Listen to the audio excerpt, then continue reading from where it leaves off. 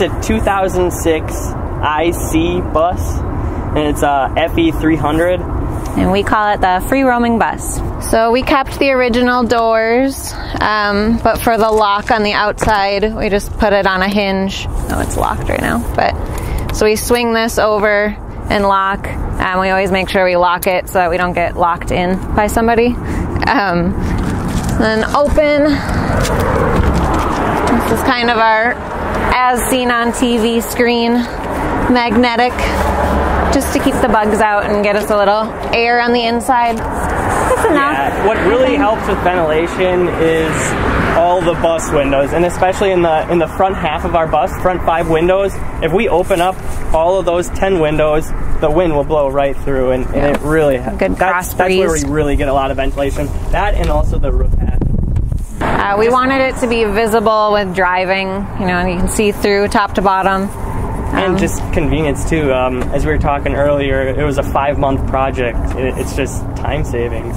We had a we had a list of th- must-haves, and we tackled those must-haves, and then we hit the road. So that's, that's the main reason. The main driver on the entrance was uh, just the look of it. We went with the white, and then with uh, the natural sealer, so no color on the wood. Um, I think it was a poplar that we used. Um, just picked up poplar boards from um, the hardware store and uh, put uh, water-based poly on it, and it's been working out pretty well. We had several mechanics in here, and that kind of dirtied it up a it bit. up. But we tried to get it back to what it looked like before, and Yeah. it still needs some touch-ups. But uh, we're happy with it. It gives it a very light look. And the white is just like a, underneath is a rust block, like a black uh, metal primer coating. Yeah, and then you- you over it with, is what we used on the steps. Um, they were actually in pretty good shape. Like I said, this is only a 2006, um, so it, it was from Indiana, but honestly, we didn't have a whole lot of rust on it. Even the even the brake rails underneath, there's really not that much rust, so we were lucky there.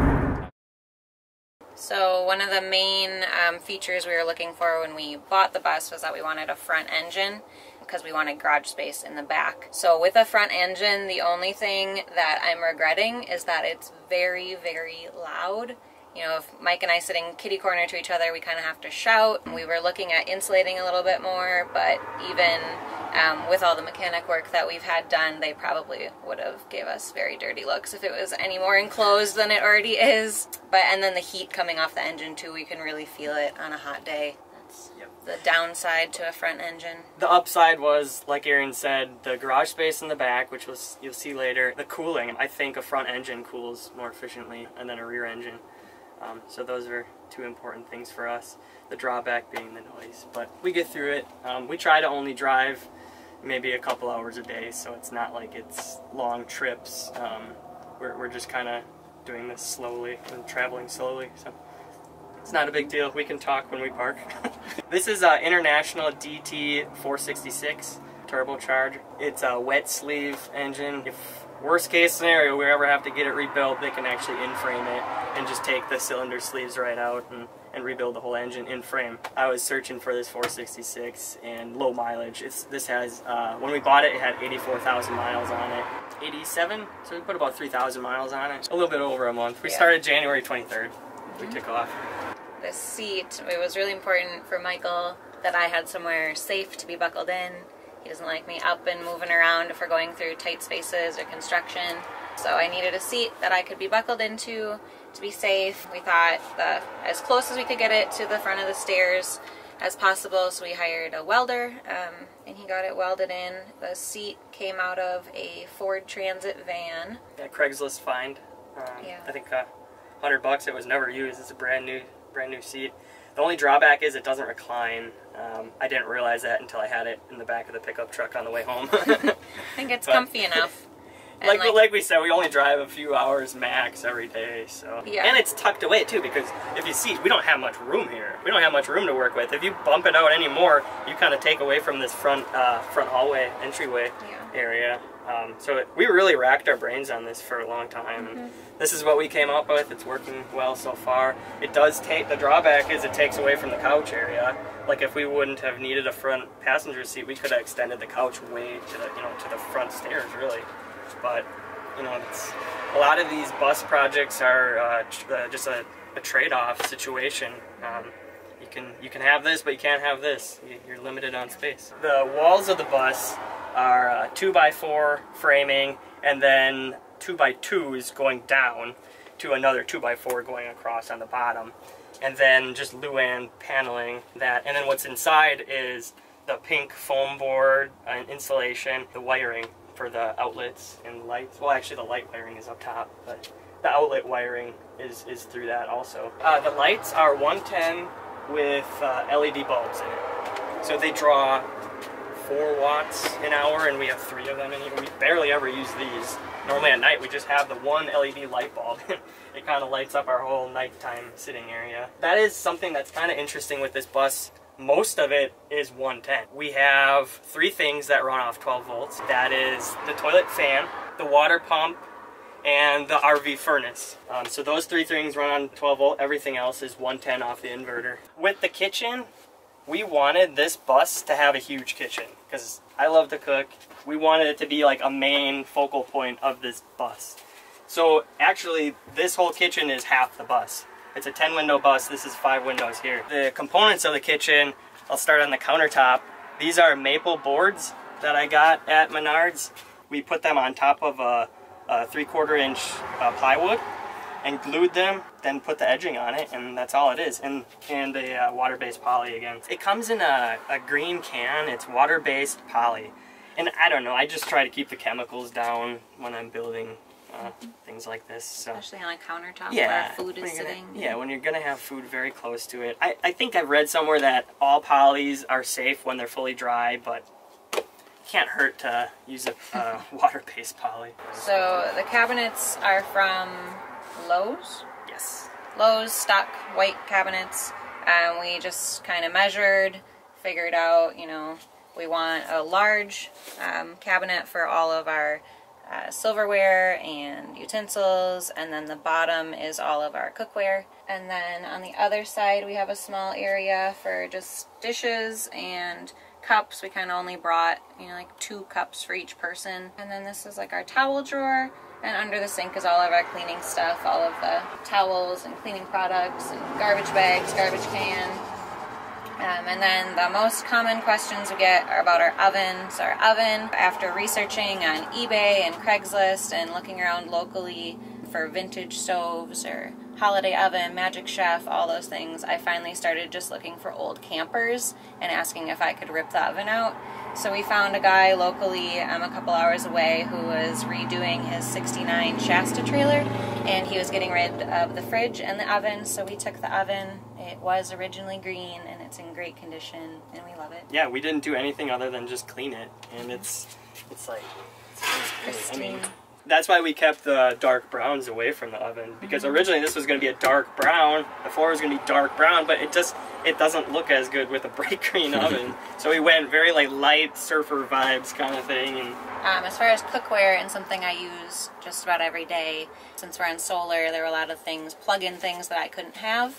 So I got a percolator, which I use every day for coffee or tea or just to boil water for oatmeal. Um, anything that's probably my most used besides just pots and pans, kitchen appliance. And when it comes time to doing dishes, uh, our sink does the job. We kind of do dishes every night or at the end of every day. We just put like a mat out here and let them dry and then put them away every day just to stay on top of them for the clutter and because this is our only sink so we're using this to wash our hands, brush our teeth at night, wash our face. Sometimes I wash my hair in it. Um, so it's it's good to just keep clean and keep the bus tidy. I love to cook, and um, that's why we built this kitchen as a, a mini chef's kitchen, and we tried to design it around a cook, and so that's why we have so much counter space. Uh, it's such an important piece to this bus, uh, and that's also why we have a, a apartment-sized refrigerator too.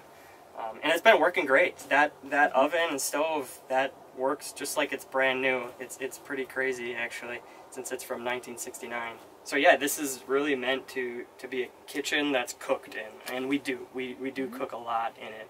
I say the majority of our meals. Uh, we do like to go out to the different restaurants, you know, in the different areas. So we were in El Paso not long ago, and we had a lot of Mexican food. And when we were in Louisiana, we had the Creoles and uh, the gumbo. And So we, we like to try the local food, but uh, at the end of the day, we're going to be on this bus for 10 months now, and we need to cook our own food just to save money too. So.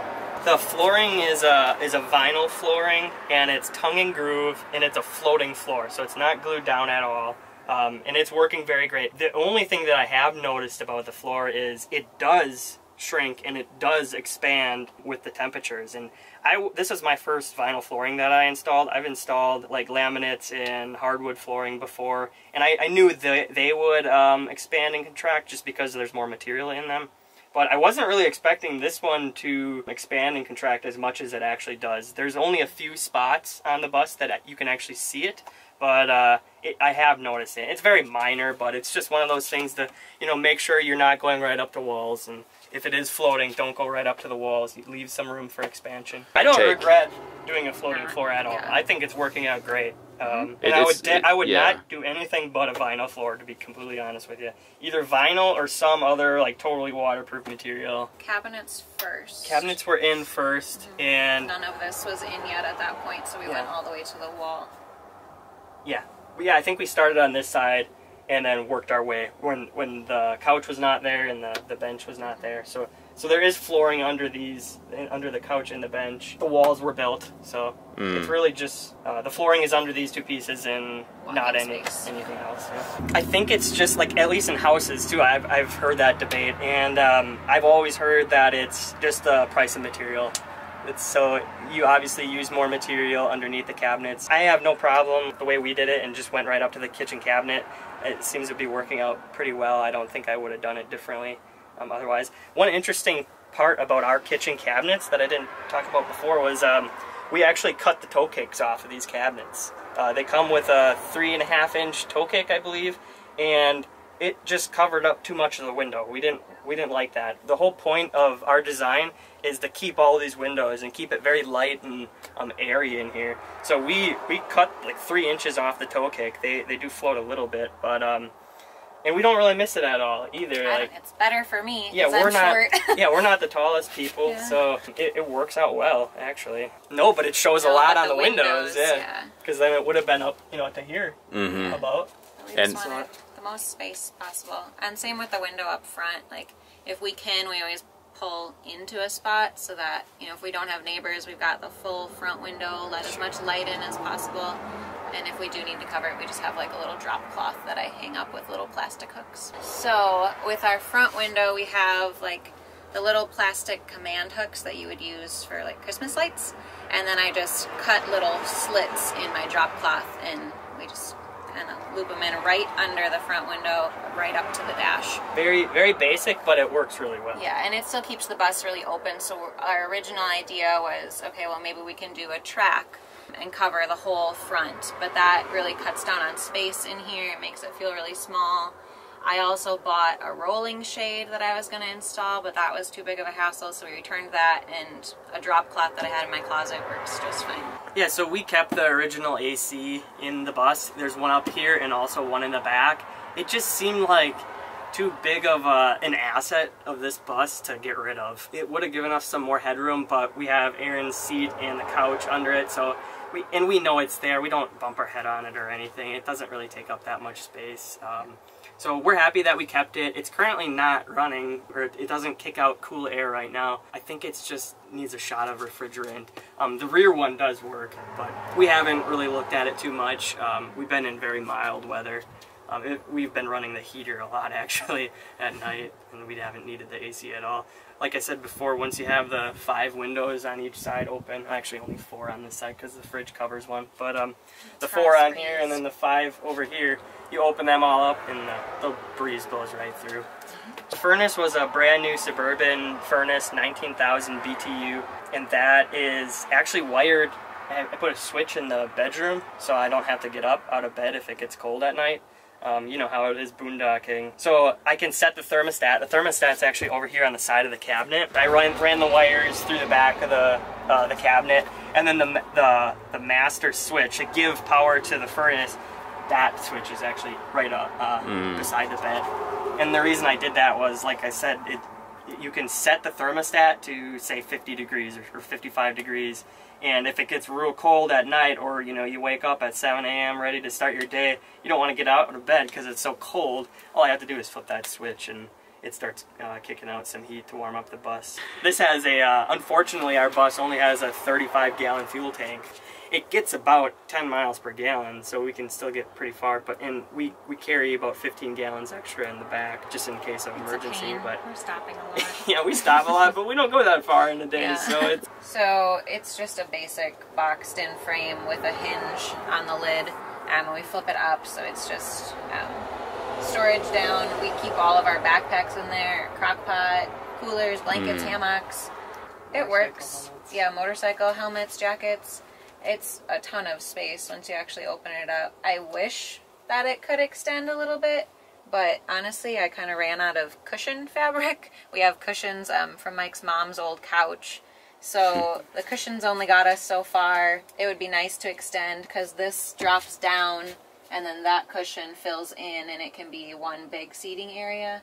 So it'd be nice to have the person sitting on this end have some leg room. But honestly, we haven't even dropped this down yet. So I don't know that we miss the pull out at all. If we have one guest, they could sleep here. Two guests, I guess somebody's sleeping on the floor, but it works. Um, so, like I said, the table drops down to one big seating area, and then actually inside of this bench is our little pop up shower.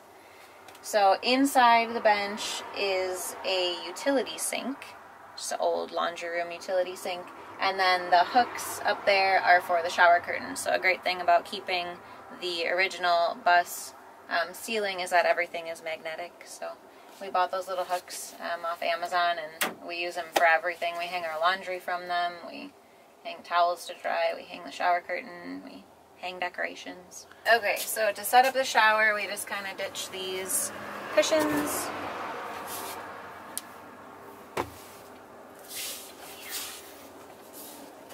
And then this is just a piece of plywood we tilt up. So there is the utility sink. And then we just bought a cheap little shower curtain. And I just kind of go around and hook it in. So then um, there's like a hose here. So we've just got a little shower hose. Um, we put like a little mesh bag hang so it just sits in there. Soap up, turn the water on, turn it off. Um, and it's actually deep enough. Um, I'm short, Mike is short, so we still have plenty of headroom. Um, it's just not a lot of moving around room once you're in there. It's it's a quick shower space. It's nothing luxurious. And then just in the extra room is where I threw all the soaps and the laundry detergent. Um, if we really needed to, we could do laundry in this tub too. the shower curtain actually keeps in all the water. We've really never had uh, water leak out from it. We bought a, a longer shower curtain so we could overlap the Yeah, edges. so it's extra Um, wide. So once you get like to this part, it's doubled. Um, so you're gonna slide in and wrap yourself in there. And it, this again is just another trade-off. Uh, do we want a dedicated shower room? We see so many people in RVs that just throw all their stuff in the shower for storage, Mm-hmm. and um, you know we didn't want to just have a whole shower room um, dedicated to showering. Yeah. As silly as that sounds, We but have that's what it came living down to. space. Yeah, and we would have lost a closet. Yeah. Is what it came down Our to. Our bus is only Oh, it's it's about 25 feet inside, Yeah. and then the rest is like engine. so we needed to do a Oh, that's, lot of uh, that- that's multi-purpose. fine. Leave that. Deal with it. So we kept the original ceiling in here um, just because that was the easiest thing to do. Um, and we couldn't get ourselves to uh, take the ceiling down, um, you know, people that have done it, you'd have to take out all, all those screws and, or cut them out and then take out the insulation that's in there just to put new insulation in. So that's the main reason. We, we do have very good insulation. Well, Maybe not very good, but just acceptable, acceptable um, insulation in this ceiling as is. Uh, we Yeah. wanted a roof access. A lot of people put fans there, which would be nice, but I like to be able to get up on the roof. We have our kayaks up there, and just to be able to check on the solar panels, it's nice to have somewhere inside to quickly jump up there instead of pulling out the ladder. The thing about the fans is you turn them on and it takes the hot air out, which is a great idea, but we have all these windows. And like we said before, once you open all the windows, it takes all the hot air out anyway. So I can see it. It's a very important thing for someone that doesn't have many windows in their rig. Uh, like a van or a, or a skoolie that um, got rid of all their windows or something like that, then I think you would definitely need one but we have such good ventilation in this uh, in this bus as is. So. Yeah, yeah, we have a little ladder too. They're like a little uh, pantry ladder. Yeah, we don't we don't go up there very often, but um, it is nice to check on the panels every once in a while, clean them, clean, clean the panels, them. check the kayak straps. And... So the fridge is just a standard apartment size refrigerator that we got at Lowe's. Um, it draw I put the power meter on it, and it draws about 100 watts an hour when it's cycling. And of course, a fridge doesn't cycle 24/7. It only cycles, I don't know, maybe two thirds of the time, or maybe even less. Um, so it's pulling 100 watts when it's running. And basically, the, how we picked it was we went to Lowe's and tried to find the most uh, efficient refrigerator we could find in this size. We knew we wanted this small, like apartment size refrigerator, and it's been working great. And we, we put a strap on it just so it doesn't, you know, go across our whole living room area here. Just little uh, baby safety latches, because the first yeah. couple of trips we had the door flying open and yep. beers, beers flying everywhere. so the, these little uh, baby uh, clasps are, are really uh, really nice to get, and we found that if you buy things that aren't meant for an RV, they're less expensive. So if you buy like RV specific items, like an RV specific latch, more. like you're gonna pay more. So we just try to try to buy like the generic uh, the generic stuff that's meant for a house, and um, like this sink too. This is a house sink, obviously. Um, we got that at Habitat for Humanity for ten bucks. Um, and we tried to just get house stuff. That's been the cheapest way to do it um, that we found. And so the I, I, said that it draws 100 watts an hour uh, when it's running, and that is our biggest energy draw of this whole bus. So we designed the solar system around that. Our battery bank is 675 amp hours total. It's six Trojan, uh, I think T105s they're called. They're meant for renewable energy. And um, then we have a 1500 watt inverter that, that would power all the outlets and the lights and everything is mostly 110 other than those three items. And I did that on purpose. I mean, I know it would have been more work to get that. I wanted to keep everything separate just because if we ever have any issues, we go to the mechanic and say, you know, these are our engine issues, this is what's going on. I didn't want them to say, well, it's because you did this, and you, it's because of the, the house portion. That I could say, no, the, the engine the bus engine is totally separate from the house. Everything is separate. There's nothing really, other than grounds, I suppose, but everything else is separate and not connected at all. Yeah, we don't turn off the inverter at all. If we would get probably about three days of cloud cover, then I bet you we would have to shut the inverter down just because you don't want to drain your batteries past a certain point. Well, and the but, other thing you were regretting not doing for those circumstances is we have like our control panel in the bedroom, it would have been really nice to have the inverter on a switch inside yeah. the bus so you don't have to get out, climb in the garage. It was like 30 bucks more for the switch and I didn't do it.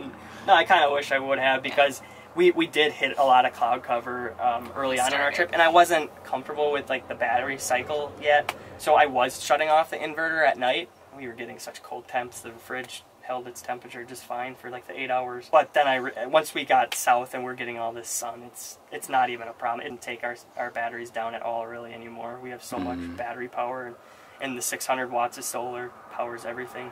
Yeah, and the best part about Trojan is there's a five-year warranty on them. So they tell mm-hmm. you to mm-hmm. keep the receipt, the original receipt, and you can go to any Trojan dealer, and as long as they find fault in the battery, um, they'll replace them.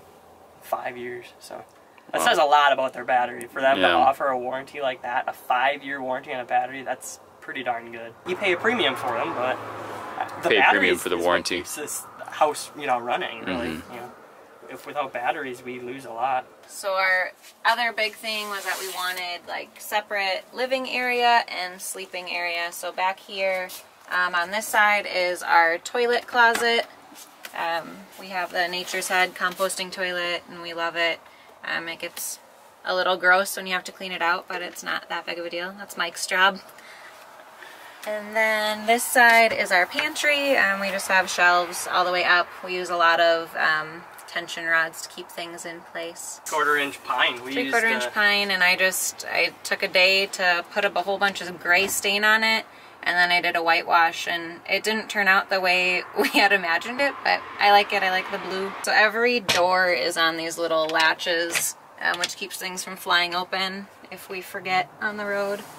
Uh, this is our closet. We just have another closet, tension rod, shoe racks. Most of the closet is for me. Um, but it, it works again, not pretty but functional. We didn't cover any windows. Yeah, the like the pantry and the closet. Otherwise, we kept every window just to let light in, and we sprayed um like the like bathroom fogging. So on the bathroom, the toilet closet window, these windows, um, and then we have another closet here. And just shelves. We keep all of our stuff in those canvas baskets and just keep all our folded stuff in there, towels, things we need to take away. And then during the build, I asked Michael to build me drawers and he said no way. So I took it upon myself to make some drawers. So down here, um, there's little drawers just to use up all the storage space possible. One on this side too, and this side on the slider.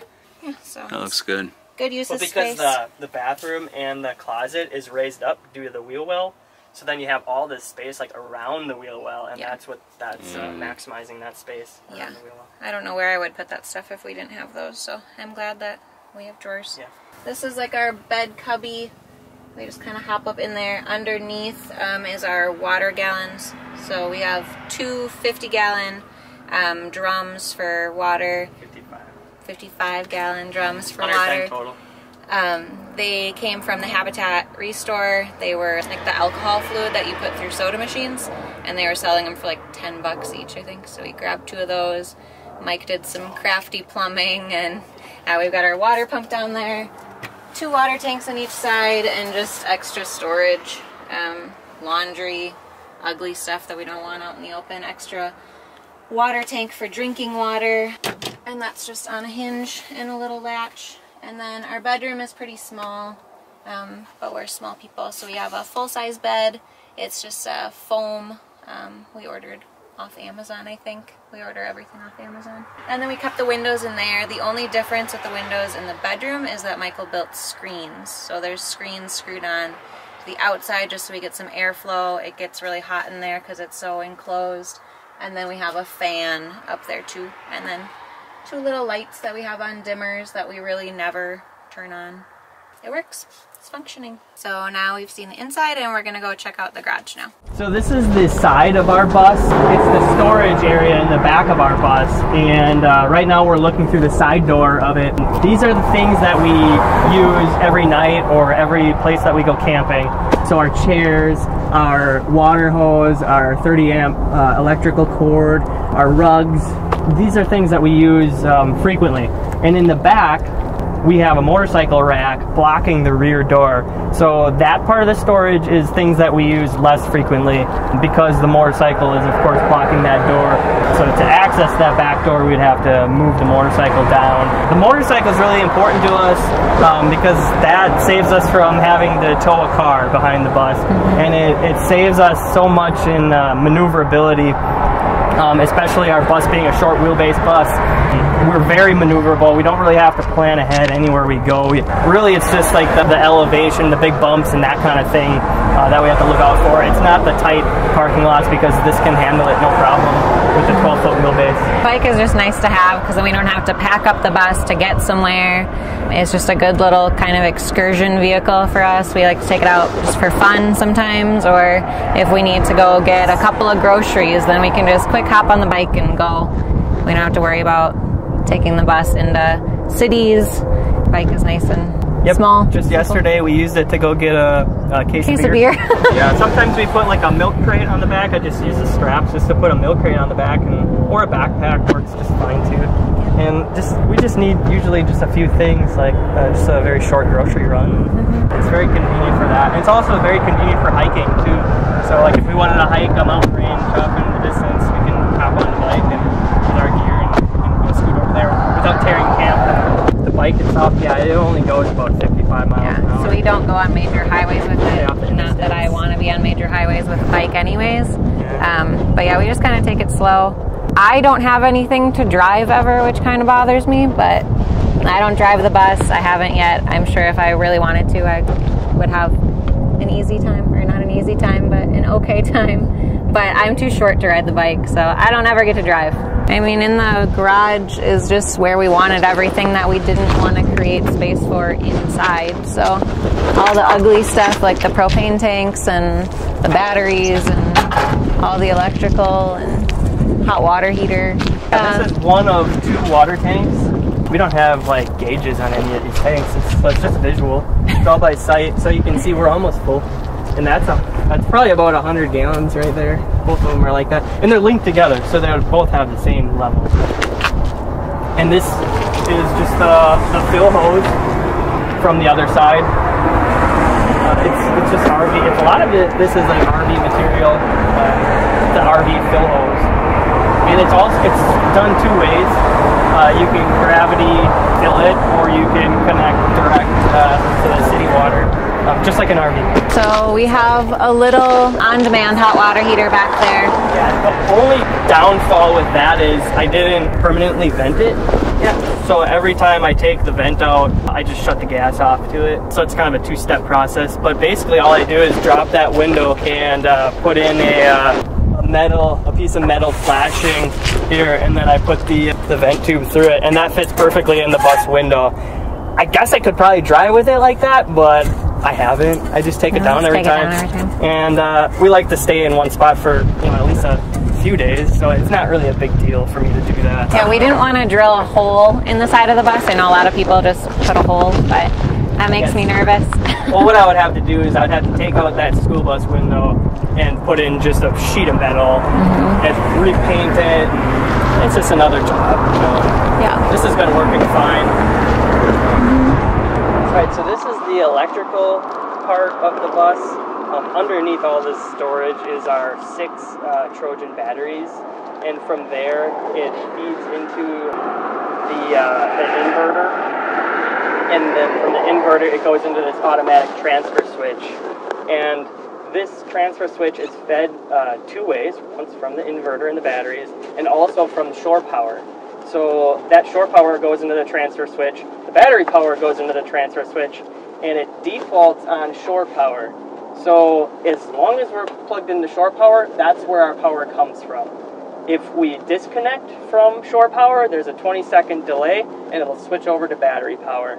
And then it takes whatever power um, it has and it goes into the AC distribution box. And then from the AC distribution box, it goes to the outlets and the lights and everything else.